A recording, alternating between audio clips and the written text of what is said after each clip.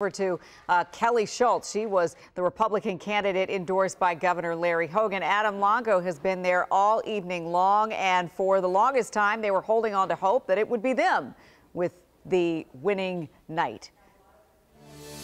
Right, and, and, they've come away from this evening, Leslie, not thinking that this is over, thinking that there are still a number of votes to be counted. Now, listen, I want to run you through some numbers real quick because I think this is going to put where we stand right now, a snapshot at 11 p.m., perfectly succinct. Okay, so Kelly Schulz is behind right now in both early voting numbers and the in-person voting numbers today by about 32,000 votes. There are about 25% of precincts still yet to be counted that are outstanding tonight. This is numbers that we've got straight from the Maryland Board of Elections. So now that would put a total number of votes tonight at about 190,000 between those two candidates. There are more than 212,000 ballots outstanding that were done by mail-in and absentee ballots, and those are not going to be counted until beginning on Thursday. So when I asked the staff, hey, how do you leave this night? I mean, she didn't concede, she didn't declare victory, she just said that there's still a lot of counting to be done. They said that they are going to be moving forward after tonight optimistically, and they believe, a spokesperson for the campaign tells me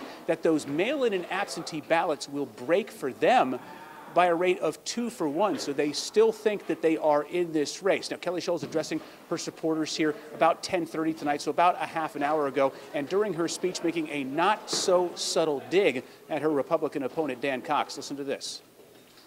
Most importantly, we never, ever lied to our supporters. We never told them things that were not true.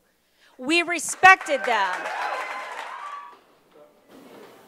So there was a lot of money that was poured into this race, upwards of $2 million by the Democratic Governors Association. They put out uh, ads uh, tying Dan Cox to Donald Trump. Uh, Kelly Schulz and Hogan, those campaigns coming forward and saying that they didn't think it was fair for them to do that, to try to insert their politics into the GOP primary. The Democratic governors saying that they just wanted a leg up on the competition getting into the general election. But Dan Cox is the candidate that the Democrats prefer going into this because because they think he makes a more appetizing target, so to speak, than Kelly Schulz would in trying to flip the, the, the, governor's uh, seat here in Maryland from Republican hands to Democratic. Leslie? Yeah, because no Republican can win the state of Maryland without some Democrats and some independents supporting for sure.